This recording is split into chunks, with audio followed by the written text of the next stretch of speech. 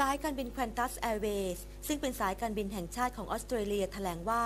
วันนี้ได้สั่งระงับการบินของเครื่องบินโดยสาร Super Jumbo A 380 ชั่วคราว เนื่องจากพบรอยแตกบางเหมือนเส้นผมที่ปีก 36 รอย แต่ยืนยันไม่เป็นอันตรายต่อความปลอดภัยกรณีนี้แตกต่างอย่างสิ้นเชิง กับที่โรงงานของ Airbus พบรอยแตกที่ปีกของเครื่องบินสองลำเมื่อเดือนที่แล้ว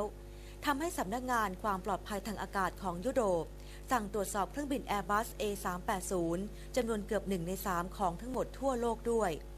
คนงานของ Qantas พบรอยแตกวัดความยาวได้ไม่ถึง 2 เซนติเมตร หลังจากเครื่องบินตกหลุมอากาศอย่างรุนแรง ในเที่ยวบินจากกรุงลอนดอนของอังกฤษไปยังสิงคโปร์เมื่อเดือนที่แล้ว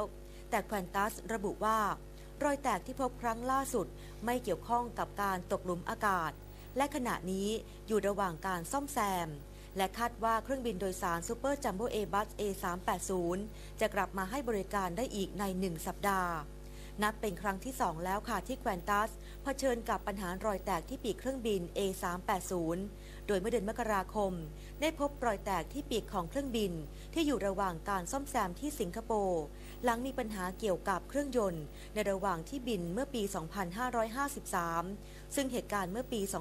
2553 เป็นสัญญาณเตือนด้านความปลอดภัยที่น่าวิตกที่สุด ที่ Airbus A380 เผชิญอยู่ นับตั้งแต่เริ่มให้บริการเที่ยวบินโดยสารเมื่อปี 2550 ทำให้แควนตัสต้องงดการให้บริการเครื่องบินไปถึง 20 ลำค่ะ